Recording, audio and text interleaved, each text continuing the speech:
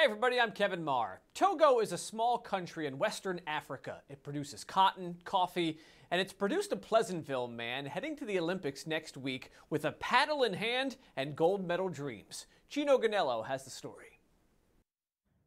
Pleasantville resident and Westchester Table Tennis Center coach Kokou Fanny spends a lot of his time here in America working on his craft.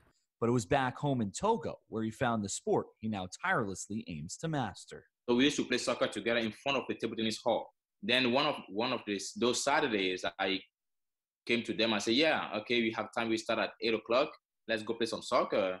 And they were telling me, "No, uh, we're not going to play soccer. Today we're going to play table tennis." It was at that point that the sport became more of a staple in Kokou's life, and in 2006, he turned his focus towards making the Olympics. But financial hardships didn't allow him the training he so desperately needed and it led to doubts that almost made him give up on his dream. So many times I like, you know, I went down on myself and I asked myself if this is even worth it. I almost gave up. But I got like some great guys supporting me, pushing me, say, you know what, you can do it.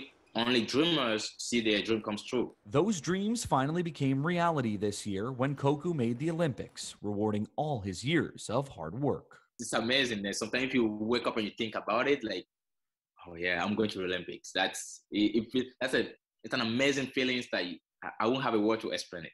It's, it just feels amazing. Kokou's first match will take place on Saturday, July 24th, where he'll look to become the first ever Togolese table tennis player to win a match at the Olympics. In Yonkers, Gino Ganello, News 12. And table tennis has been an Olympic sport since 98. China has won 28 of the 32 gold medals handed out. Back after this.